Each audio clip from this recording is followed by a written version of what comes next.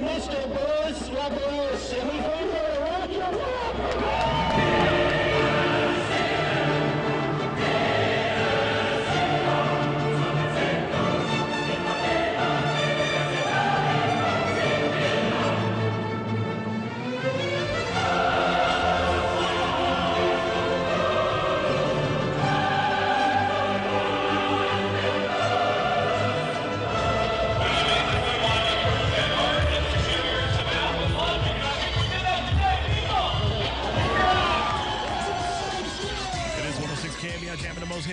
Hip hop and R&B. 7:31 in the morning time. 7:31 in the morning time. That is my man DJ My Emotion in the mix right here. 106 KMEL. Now I'm talking to these gentlemen right here who are going to be part of the Red Bull Flugtag.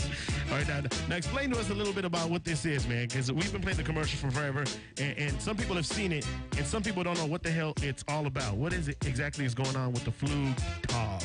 Well, we don't really know exactly what it is, but we've entered in on it anyway. It's apparently a group of people who have never flown anything in their lives and uh, who are going to be trying out their own crafts and uh, throwing them into the pier, Pier 30, this Saturday at 1. And what can you win if you win this? If you win, if wait, Hey, if, wait, wait if we win, Wait. Oh, okay, okay. It's it's not a matter of if we're going to win. When you it's win. when we win.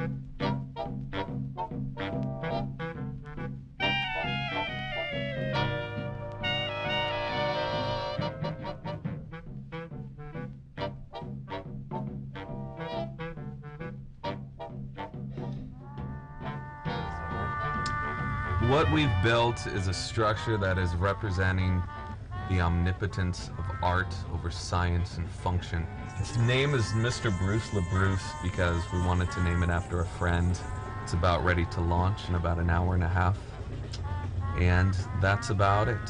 It's a situation of action and reaction in which three individuals are going to be kicked in the buttocks and thrown over a pier, propelling me into the air.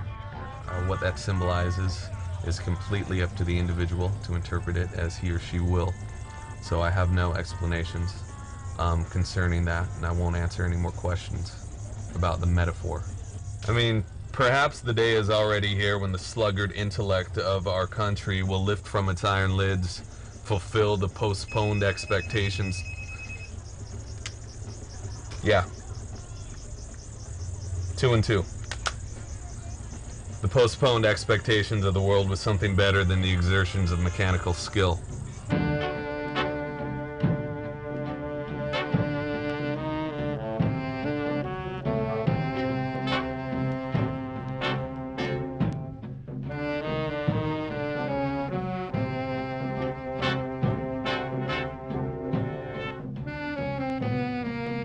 Now here's some of the names of some of the other teams that are going to be competing against you guys: the Nosediver, Yellow Submarine, Losers. Doctor Strange Bull, Not in it. the Falling Saucer. That's a great name.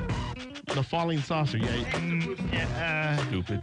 Okay, the Batwing, Mr. Beefy, Mr. uh, Beefy. Whoa. Boulders, Folly. Yeah. Chew your food. Now, is this going to go down rain or shine on Saturday, you guys? Absolutely. We've been working 12 years on this thing, and no little rain is going to stop me from delivering the goods to all these good people out here in San Francisco. All right.